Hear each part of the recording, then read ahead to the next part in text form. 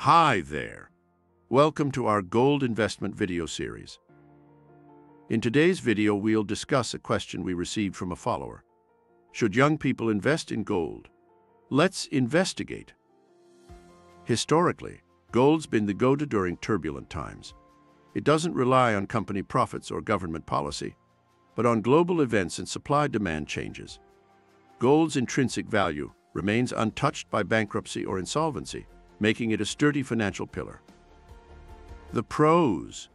Gold is a hedge against inflation, diversifies your portfolio, and is globally accepted. But there are cons.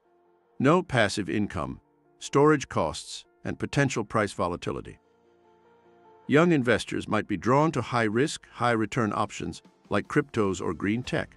Yet, traditional stocks and real estate have proven their worth with long-term growth. Your personal goals matter. Considering a house or retirement. Weigh gold's non-income nature against its stability. Don't want physical gold. You've got options. Gold ETFs, mutual funds, mining stocks, or even complex futures and options. In a young investor's portfolio, gold can be a safety net, though it may not be the primary income source. So, to gold or not to gold? Only you can decide, ideally with expert advice. Knowledge is the key to your treasure chest.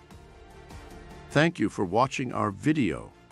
For more in-depth information about gold IRAs, up-to-date comparison of the top gold IRA companies, special promotional gold IRA deals, and a free gold IRA investment kit, visit raremetalblog.com or click the link below.